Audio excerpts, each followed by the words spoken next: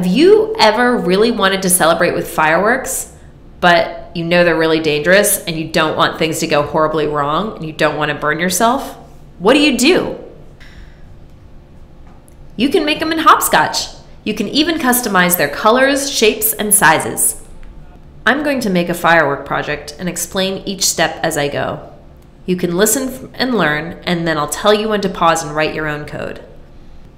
If you get stuck or confused, don't worry. Just tap the video to pause it and then hit the back arrow to rewind. You'll probably want to do this a few times, so no worries. First, I'm going to choose the object that will serve as the center of my firework display. I'm going to tap the gray plus button at the bottom of the screen to add the object. I want to use a circle shape, so I'll scroll over to find this object. Okay, I see I have the circle at the center of my stage, and I'm ready to write some code. So I'll tap on the circle and then tap Add Code. This opens up the editor, or the place where I'll write the code. The code I write will tell the object what to do and when to do it. So first I have to choose the when to do it part. And all of these magenta blocks that you see here are when blocks, and they do just that. Since I want to make the circle invisible at the beginning of the game, I'm going to choose a when the game starts block. Notice how a blinking turquoise box is now inside the magenta when block and a new keyboard has opened? This is where I'll write the code to tell the object what to do. To make the circle invisible, I'll scroll until I find the green Set Invisibility block and tap it to add it to my code. I'm going to type in 100 so that my circle will be 100% invisible, which is what I want. So now I've written a rule for the circle that you can read right here. When the game starts, set invisibility of the circle to 100%. Great. I'm going to check my work by tapping the triangle in the upper right corner, which is the play button. Hmm, nothing happens, and that's great. When the game started, the circle became invisible, which is exactly what I programmed. So let's add more to this project. I'll go back to my code by tapping the pencil in the upper right corner of this project. Now before I go on, tap the video to pause it and add an object and add this code to your project. Take time to make sure that your code matches mine. If you're confused, no worries. Just tap the back arrow to rewind and watch again. Now it's time to start working on the fireworks. Fireworks are made up of tiny little explosions, which we can replicate with tiny little circles. So I need to have hundreds of tiny little circles appear on my screen. I could draw each one individually, but I want to let you in on a secret. Programmers are really lazy. If we can avoid doing the same thing twice, we do. In this case, I can use the single circle object I already have and clone it to create as many identical circles as I want.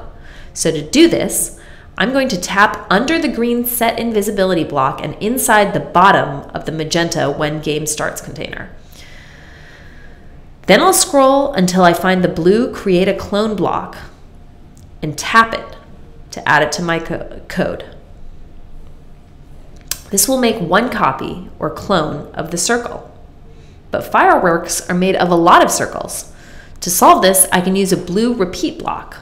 I'll add it to my code and then type 300 into the bubble.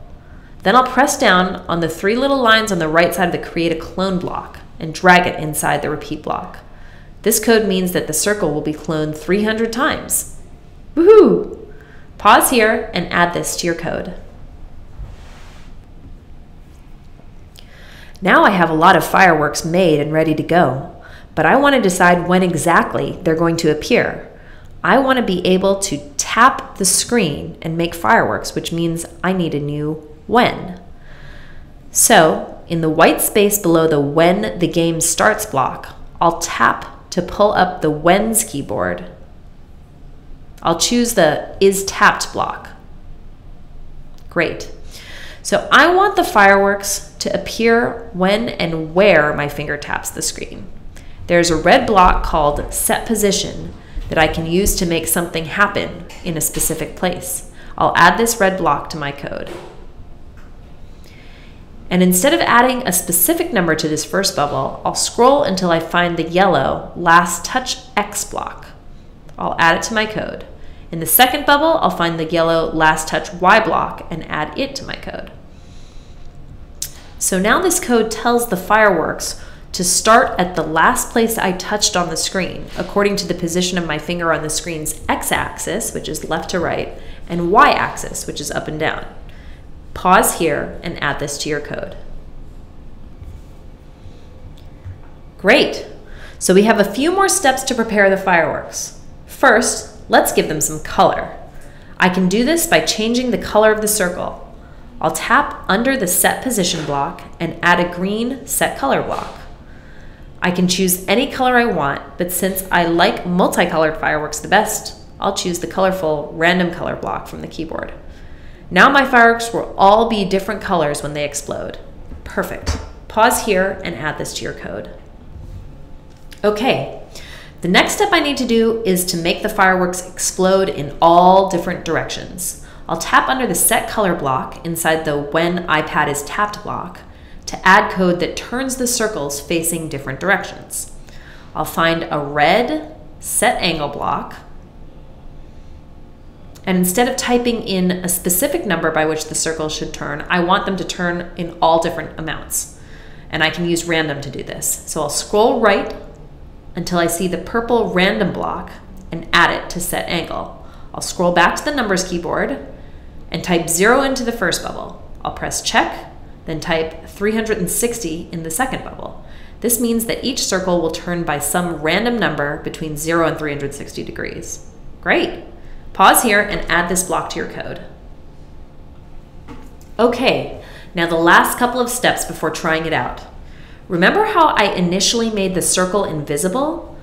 I want to make it and its clones visible when I tap the screen. I'll tap under the set angle block at the bottom inside this when block. Then I'll find a green set invisibility block. I'll type zero into the bubble and then press check. Now my fireworks will be 0% invisible, which means they'll be visible. Finally, I want to make my fireworks burst out from wherever I tap on the screen, which means that they need to move.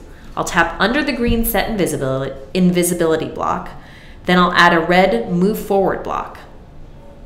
Again, I don't want all the clones to do exactly the same thing.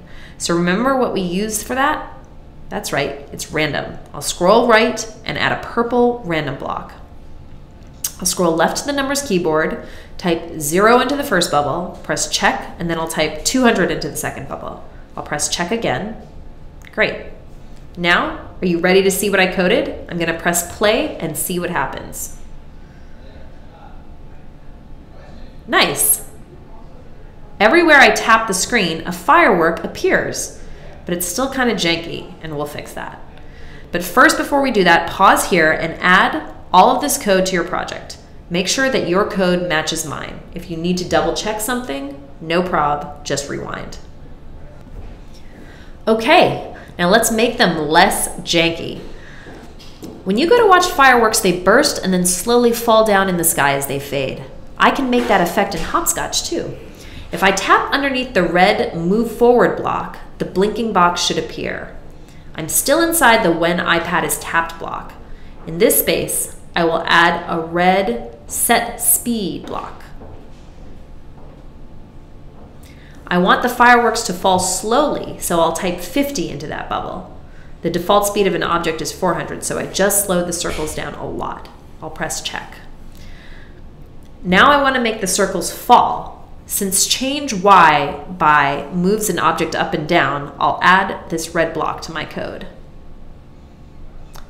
And since negative numbers make objects move down, I'll type minus 50 into the bubble. Okay, I'm going to play it to see if it works. Cool, it does.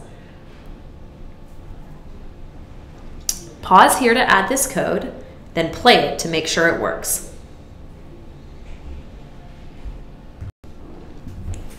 Okay, so now let's give the fireworks a little more pop by making them shoot out smaller and faster. I'll carefully scroll up to the top of the code and tap inside at the top of the magenta when iPad is tapped block above the red set position block. I'll add two blocks here. First, a green set size, size block. I'll set it to 25% so the circles are a quarter as big. Second, I'll add a red set speed block. I'll type 1000 into this bubble and press check. This will make the fireworks really explode when I tap the screen. Okay, I'm going to play it and check it out. Nice! Now pause here and add this code to your project. Make sure you are really careful when scrolling up so you don't accidentally move your code blocks around. And press play to try it out. You can adjust the amount you set size by to customize your fireworks. Well, okay, if your fireworks are as amazing as mine, you could totally stop here. But if you want to keep going, I can show you a couple more things to make your fireworks even more realistic. Now, think about the last fireworks you saw. One thing that is true about almost all fireworks is that they happen at night. So I want to change the color of my background to make it look like it's nighttime. I can do this by drawing a really big dark line in the background, so big and wide it covers the whole screen. So to do this, I'm going to add a new object that draws a background. I'm going to tap the X to get out of this code, and then tap the gray plus button on the bottom of the screen to get a new object. I'm going to choose a text object and leave it blank. Just press the check mark. Now I need to double tap to give that text object some code. Since I want the background to appear right when the game starts, I'll choose the game starts when block. To draw a big black line in the background, I'm going to scroll until I find the purple draw a trail block. I want the circle object to draw a line or trail so wide that it covers the screen. So I'll tap that first bubble and choose the color, black, and to make the line really big, I'll type 3000 into the width bubble, which is wider than the screen. Then I'll tap inside the bubble on the red move forward block and type 1. This code tells the circle to move forward 1 while drawing a line behind it that is 3000 wide, which will take up the whole screen. I'm going to press play to make sure it works. All right, the background is black now. Pause here and add this code to your project.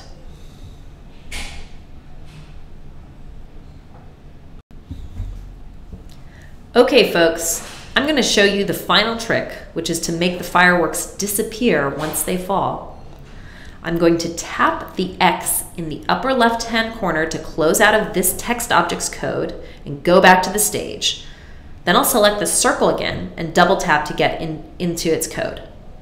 I'll carefully scroll down to the bottom of the code and tap at the bottom inside of the magenta when iPad is tapped block and below the red change Y block. Then I'll add a green set invisibility block and type 100 into the bubble, which will make all the little circle clones become 100% invisible after they explode. I'll play the code now to see how it looks.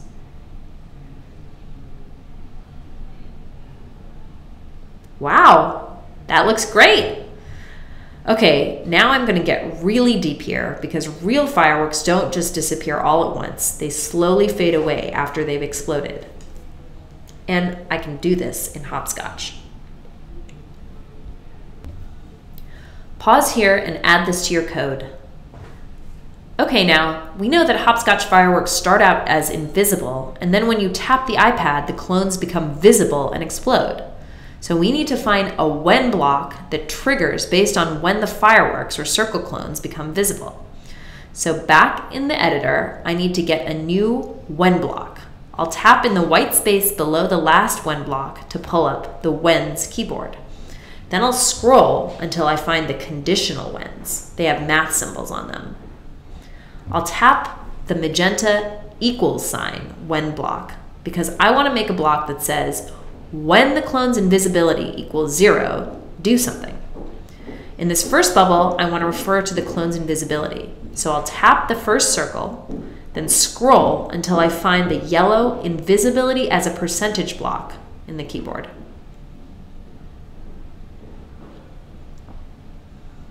And then I'll tap and add it to the first bubble. Then I'll type zero into the second bubble. And so now I've made a when block that says when this clone's invisibility is zero, do something. Since I want to use this when block to change the visibility of the fireworks so it looks like they're fading away or becoming more and more invisible. So I'm going to make the fireworks fade from 0% invisible to 100% invisible. This means they'll fade from visible to invisible. I'll scroll until I find a blue repeat block and type 50 to make it repeat 50 times. Then I'll tap inside the repeat block and add a green set invisibility block. Then, each time this code runs, I will increase the clone's invisibility just a tiny bit until it gets to be completely invisible. So instead of setting the invisibility to just one number, I'll scroll right and tap a purple add block. For the first bubble, I'll scroll until I find the yellow invisibility as a percentage block. This represents the clone's invisibility at any moment. Then I'll type the number 2 in the second bubble. Now this code says that when the firework becomes visible, its invisibility should slowly grow to 100%, which means you won't be able to see it anymore at all. So now I'll press play because it's time to celebrate. Woohoo! So fancy. Pause here and add this last bit of code to your project. Make sure yours matches mine. Check it and celebrate. Whoa, how cool is that? These fireworks look pretty awesome. Now that you know how, you can set off fireworks for New Year's Eve, Independence Day, your birthday, when you meet a cute dog, whenever you want. And the best part, these fireworks won't set your lawn on fire. Happy hopscotching!